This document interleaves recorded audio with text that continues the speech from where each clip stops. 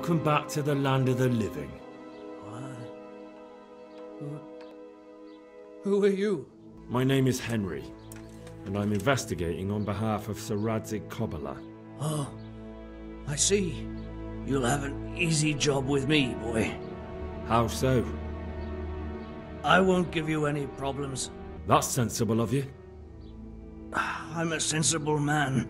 Only I'd like to get it over quick and not keep the Rattay executioner busy too long. If you catch my drift. I understand.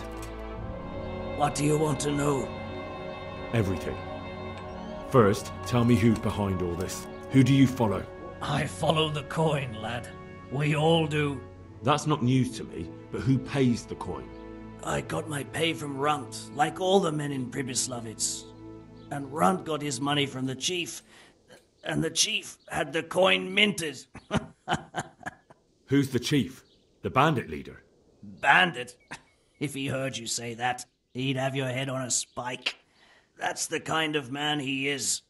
Nobody knows much about him, though. Only that he ain't Czech. So he's a foreigner? German? Don't think so. For sure he ain't Czech. And he's got plenty of coin. I'd stake my neck on it. He's got noble blood in his veins. Judging by how he looks. More by the way he talks. Any man can dress up like nobility, but he spoke all la-di-da, like a lord. Where's that chief of yours now? I've no idea.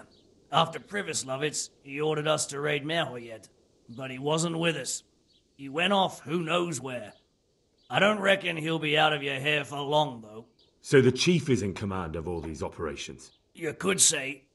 I'd say you're looking at it all wrong, though. How's that? You ask who's in charge and who answers to whom, only this ain't some noble court. There was all sorts of gangs in Pribyslavitz, big and small. Robber barons who had their own brigades calling them my lord, and common footpads who hadn't a pot to piss in. Men came, men went. Lots of squabbles, the occasional murder. Old cronies and old rivals were meeting. You know what I mean? I suppose so. It was one big muddle. The main thing was nobody asked questions.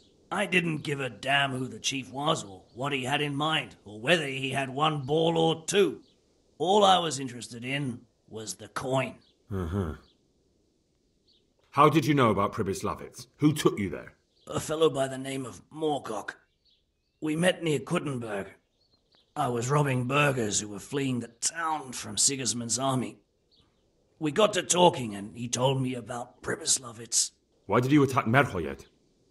The chief himself gave us the order. Uh, I reckon he wanted to show the local lords he was nowhere near finished. So he's planning more raids? The chief's always planning something. Pribyslavitz was only the start. So you knew the coin was counterfeit? Of course I did. I brought those groschen to Pribyslavitz, along with a few other things. Did you? And where did the forgeries come from? Like, where were they made? I don't know. Some merchant by the name of Menhart gave them to me. We used to meet at the charcoal piles near Rovna, by the crossroads there. As it happens, I'm supposed to be meeting him there about now. So Menhart's waiting there? Might be, might not.